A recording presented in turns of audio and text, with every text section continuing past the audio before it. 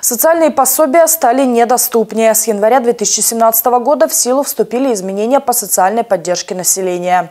Они коснулись многодетных семей, детей, которые не смогли попасть в детские сады и молодых мам от 22 до 24 лет. Новые условия получения субсидий объяснили специалисты Северодвинской соцзащиты на ежегодной пресс-конференции. Стать многодетной семьей с этого года стало сложнее. Доказать свое право на господдержку предстоит девяти с лишним сотням семейств. Областной закон изменил формулировку этого понятия. Теперь многодетной считается семья с тремя и более детьми, прописанными с отцом или матерью. Для подтверждения хватит выписки из домовой книги. Кроме того, хотя бы один из родителей обязан быть гражданином России.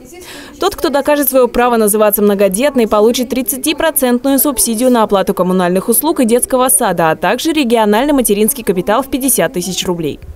Новые условия для многодетных появились и при получении ежемесячных выплат на питание, проезд и ежегодной на одежду. Раз в год будут рассматривать доход семьи на одного человека. Он не должен превышать полуторную величину прожиточного минимума. На сегодняшний день эта сумма составляет 18 961 рубль 50 копеек.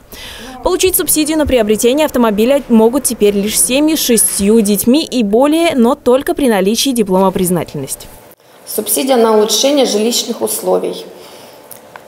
Значит, выплачивается единовременно семьям, которые имеют 7 и более несовершеннолетних детей, составляет не более 2 миллионов рублей. И тоже добавилось условие – это наличие диплома признательности. Ежемесячное пособие на третьего и последующих детей уменьшилось на 108 рублей. Оно составляет теперь 12 646 рублей и выплачивается до трех лет.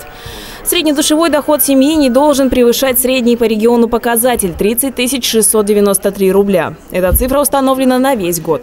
Новые условия получения пособий коснулись не только многодетных. Для пособия на ребенка, не посещающего детский сад, также необходимо проживание вместе с родителями и среднедушевой доход семьи меньше полуторной величины прожиточного минимума. Полуторный минимум спросит и с молодым мам, родивших первого ребенка в возрасте от 22 до 24 лет.